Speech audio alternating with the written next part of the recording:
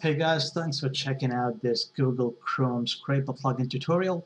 So in the first part of this tutorial, which was on the blog, we kind of talked about the basic things that you can do with the plugin and even goes on to talk about some of the basic things with XPath as well. So in the second part of this tutorial, which is this video, we'll be talking about some of the more advanced things that you can do with this plugin. So for this, I expect you guys to have some basic understanding of XPath and HTML. And so let's go ahead and see how to use this. So in this example, we'll be looking at scraping some content from BuzzSumo, which is a great tool to like, you know, gather data on things and do research. So basically in this tool, you've got two areas, the top content and influences, and in this example, we'll be looking at gathering some data about certain influences from some specific niche that you want to look at. So in this case, let's look at SEO and see who are the influencers in here.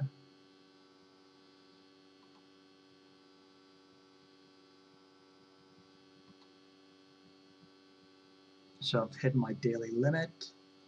So let's log in and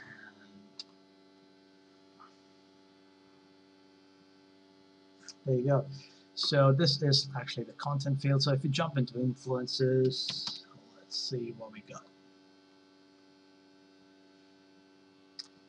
Yep, so it's given us a list of influences and you know if you want to reach out about something to these guys like you might need a handy list so they give us a few options like you know they give us their name that they've provided on their Twitter account the Twitter handle and the website that they're provided.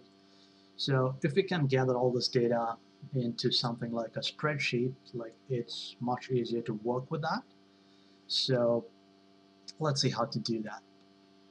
So first up you need to have the scrape similar plugin installed. And let's just try to scrape the name and now you get the console in here which kind of you know scrapes all that name. But we want more than just that name. So like we want the Twitter handle and the website as well. So this particular bit here which is the selector kind of gives you this. And you have the columns field where you can add additional fields using this plus button here. And if you want to delete fields you just use the red button here.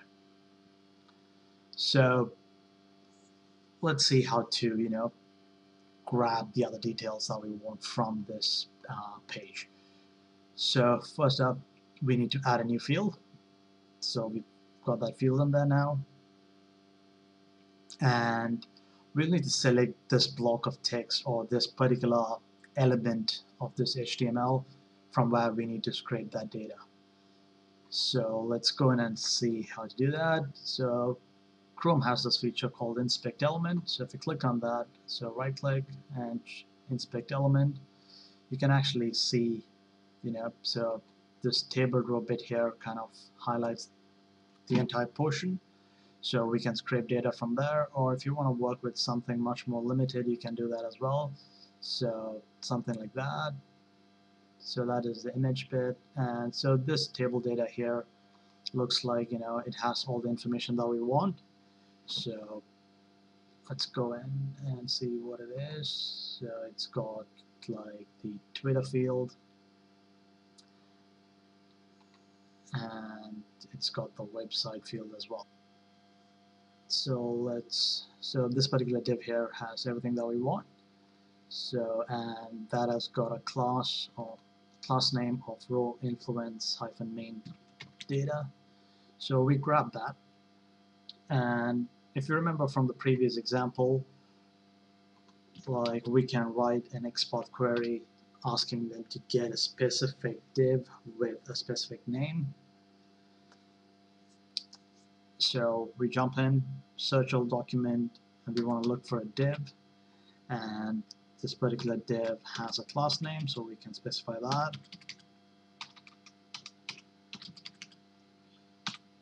And we put in the name of the class. And then we just hit on scrape and it will pull all the data in.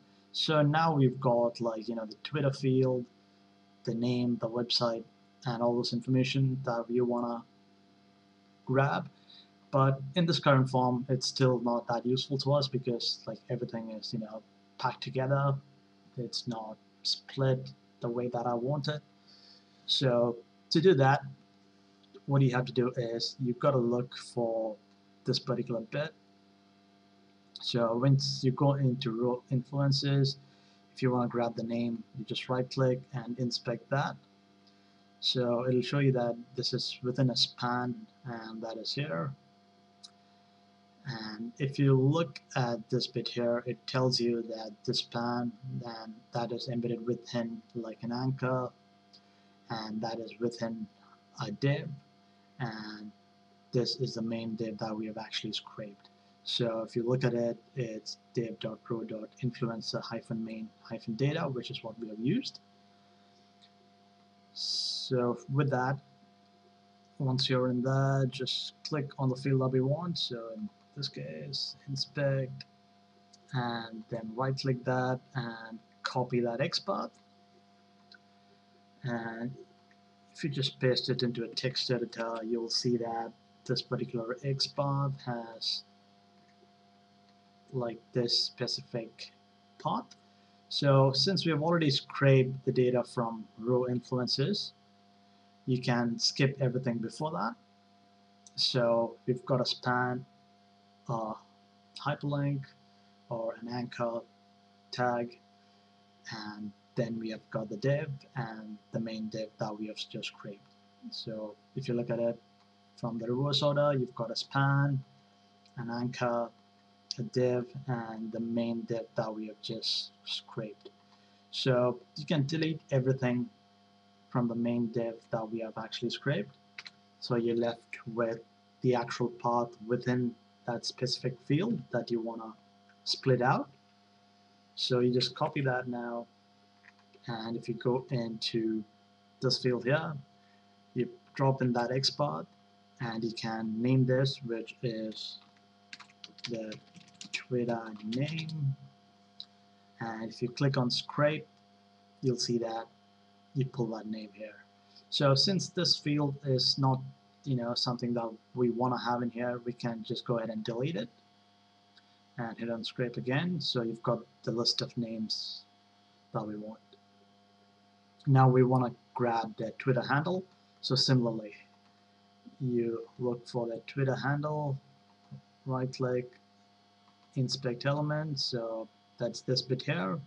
So you can right click that copy as XPath and put that into the text field or the text editor that you want. Again, if you look at this bit here, it kind of tells you what that path is. So you've got a span, and you've got a div, and then you've got your main div. So this is the div that you've scraped, the main div that you've scraped. So you've got your span, div, and the main div that you've scraped. So again, delete everything, including the main div that you've scraped, and copy this path and put that into your scrape console window in a new field. So in this new column field, you just add that part, and this is the Twitter handles. So now you've got that. So similarly, if you want to put the website in, it's again inspect. You've got the website here. So right click, copy the XPath, and you need to strip out the extra bits from here. So again, look at it. You've got an anchor field, a div, another div, and the div that you've scraped.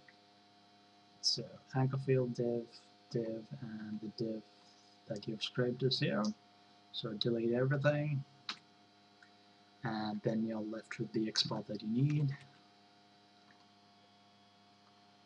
And now you go into script console window, add a new field, paste the path in,